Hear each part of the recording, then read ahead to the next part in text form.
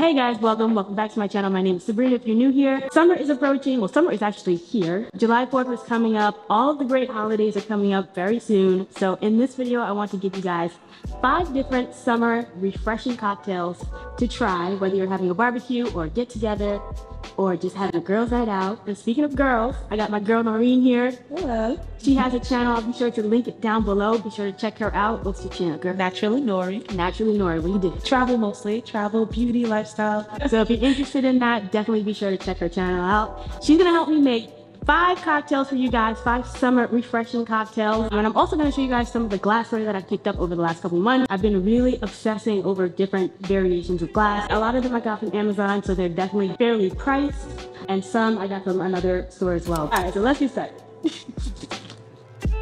All right, so for the first summer drink, we're gonna start off with a blood orange vodka spritzer. So if you're into a very light calorie or very refreshing light drink, this will probably be of interest to you. So the ingredients for this drink is rather simple, like I said. The first ingredient that you'll need is just two ounces of vodka. You can use any vodka of your choice. If you're into Tito's, you can go with that. You can use whatever vodka you want. The vodka that we're using is called Vodka 6100, four ounces of sparkling soda, and about a couple slices of blood oranges. Now, if you want this to be a little bit more flavorful, I would say let it infuse a little bit longer and then you'll be able to taste the blood oranges a little bit more. But for the most part, like I said, this is just more of a refreshing vodka soda.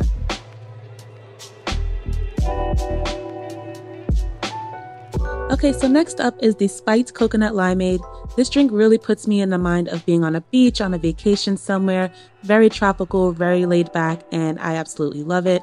I'm not the hugest coconut fan, but for my coconut lovers, this is the one for you, and I actually really enjoyed it. I love coconut as well, so this is my favorite drink. so going into the ingredients, it was two ounces of tequila, two ounces cream of coconut, two limes. The first one we made was a little bit runny, but next we got the perfect consistency that was a little bit thicker. And just top it off with nutmeg as a garnish and a slice of lime. And you can have this on the rocks or frozen, but we chose frozen. We just wanted something a little bit more chilling and refreshing on a hot day.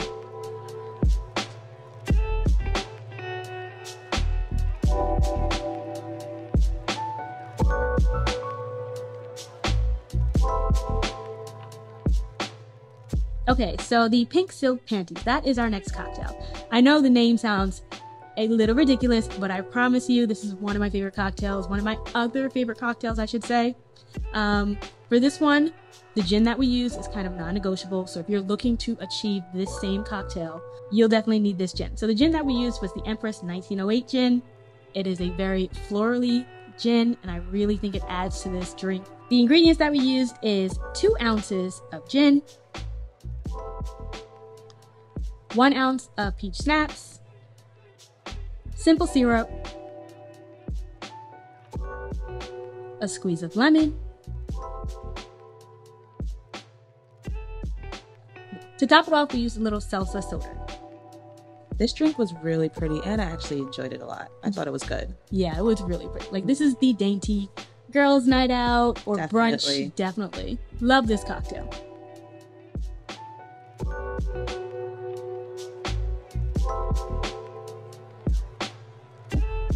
So I mentioned before that I am not a coconut person. That's not my go-to.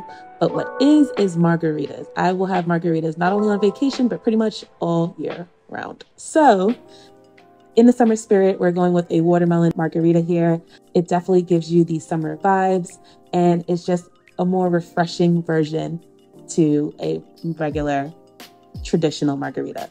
So for the ingredients, we have fresh watermelon, about two cups, two ounces of tequila,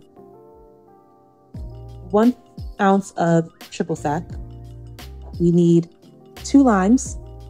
If you want a frozen margarita, you can definitely go with frozen chunks instead. We decided we wanted to switch it up after our last frozen drink and go with a traditional watermelon margarita.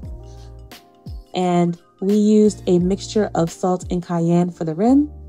You can also use Tajín or sugar, depending if you want a spicy or sweet version of the drink. top it off with a lime and a watermelon for garnish, and we're all set here.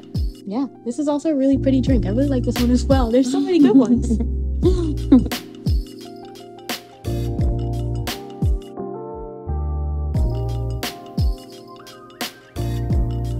Okay, so don't hate me. I know I say every drink is my favorite, but I actually really like this one as well. This one is a cucumber mojito. Now, if you're looking for the most refreshing drink out of all the drinks we mentioned today, I definitely think it's this one. And if you're not a cucumber fan, trust me, maybe try it first. I wasn't a cucumber fan until about two months ago, and now I'm obsessed, and it's one of my favorite drinks. So for this one, we're gonna add mint to a glass. We're also gonna add some lime slices and some cucumber slices. Add some simple syrup, and then we'll muddle this together. Top with a little bit of ice. Add your rum of choice. We're using Don Q. So, like I said, whatever your preference of rum is, is up to you. We're gonna give it a good shake. And here you can either strain into a beautifully curated cucumber glass, or you can just pour everything into the glass all together it's your preference. Um, we have two versions here, but they both taste the same, essentially. So, like I mentioned, this is one of my favorite drinks. They all rank really high. This was like my favorite. Yeah. all of them. And I love margaritas, but this was my favorite. Right. And you didn't think it would be your favorite. I didn't either. It was so refreshing. Exactly. So give it a try, guys. I promise you, if you're not a cucumber fan, just give it a try because you never know.